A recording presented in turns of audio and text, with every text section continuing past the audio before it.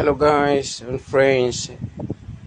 This video or clips are for my nephew in London working the underground.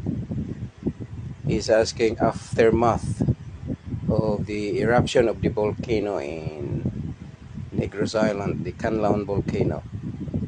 So I researched and produced these images for him during the eruptions and the aftermath of the eruption. Look at that.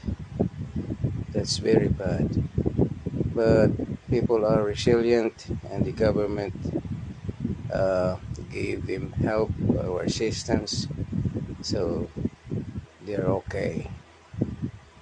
But these are good for the agriculture